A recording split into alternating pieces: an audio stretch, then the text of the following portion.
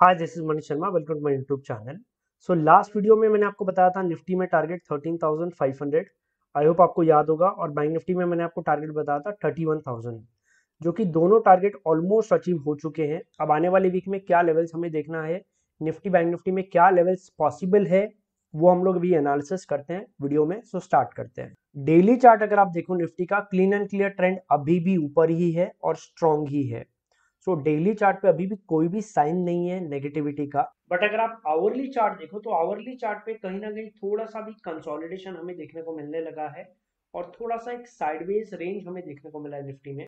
ये निफ्टी का hourly chart है और यहाँ पर मैंने डारवास बॉक्स थियोरी अप्लाई किया है जो कि एक सेटअप होता है ट्रेड करने के लिए रेक्टेंगल सेटअप तो आप देख सकते हो क्लीन एंड क्लियर उसी रेंज में ट्रेड कर रहा है।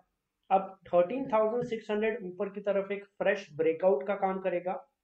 13,400 ये नीचे की तरफ़ ब्रेकडाउन का काम करेगा। तो आप ये लेवल नोट डाउन कर लेना। अभी फ़िलहाल ये 200 पॉइंट के रेंज में है निफ्टी और मुझे लगता है एक दो दिन और कंसोलिडेट कर सकता है और वेनेसडे थर्सडे तक हमें एक ट्रेंडेड मूव देखने को मिल सकता है। 13,600 के ऊपर निफ्टी वापस बाय रहेगा।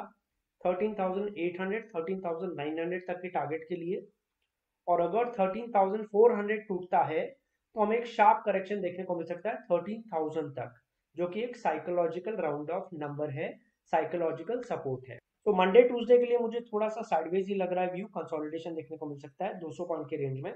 बट 13,600 एंड 13,400 ये इंपॉर्टेंट लेवल होगा निफ्टी के लिए। 13,600 ऊपर की तरफ़ ब्रेकआउट का काम करेगा और 13,400 नीचे की तरफ़ ब्रेकडाउन का काम करेगा। सो आई होप आपको निफ्टी एनालिसिस यहाँ तक क्लियर होगा। अब हम लोग बैंक निफ्टी का एनालिसिस देखते हैं। और बैंक निफ्टी के लेवल्स भी देखते हैं। बैंक निफ्टी पे अगर आप देखो ऑलमोस्ट सिमिलर सेटअप है। अभी भी कोई नेगेटिव साइन हमें देखने को नहीं मिल रहा डेली चार्ट पे। लेकिन इसमें भी आवरली चार्ट पे अगर आप देखो almost thirty thousand nine hundred के आसपास इसने डबल टॉप बनाया उसके बाद हमें एक फॉल देखने को मिला और वापस एक रिकवरी भी देखने को मिली है। अब ओवरऑल बैंक निफ्टी भी एक रेंज में फंसा हुआ है। Thirty thousand three hundred four hundred नीचे में सपोर्ट है और थर्टी वन थाउज़ेंड एक स्ट्रॉन्ग रेजिस्टेंस है।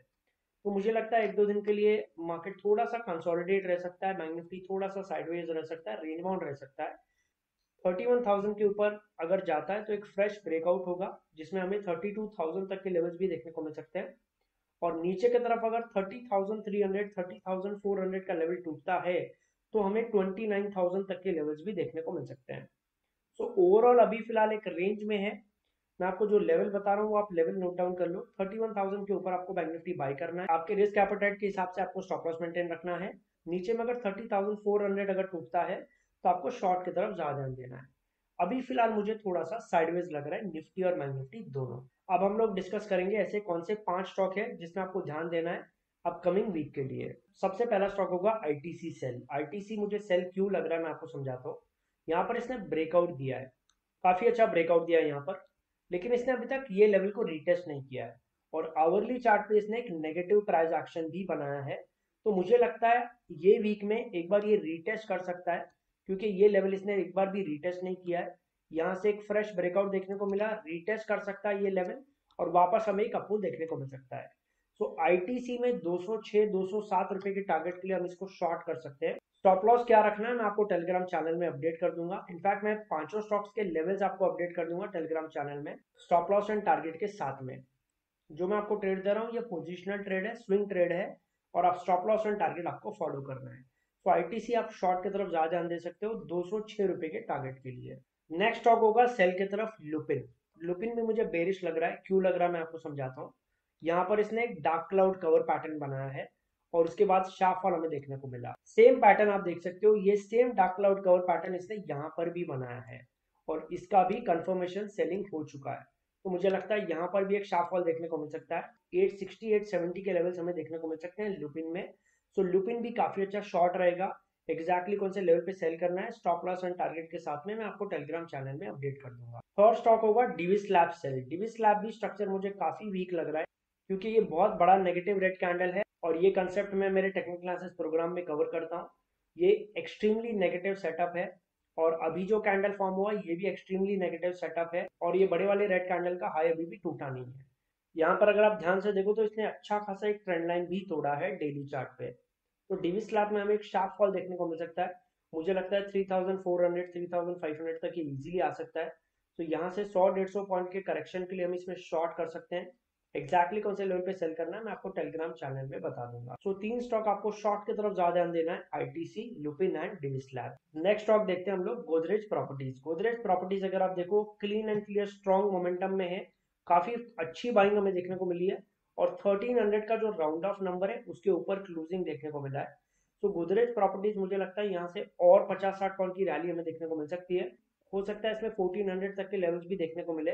तो गोदरेज प्रॉपर्टीज़ काफ़ी अच्छा बाय रहेगा। एक्जैक्टली कौन से लेवल पे बाय करना है, मैं आपको टेलीग्राम चैनल में बता दूँ। लास्ट स्टॉक होगा अदानी एंटरप्राइज अदानी एंटरप्राइज में एक पैटर्न बन रहा है flag pattern flag and pole pattern ये डेली चार्ट पे फ्लैग पैटर्न बन रहा है इसमें अदानी एंटरप्राइज में।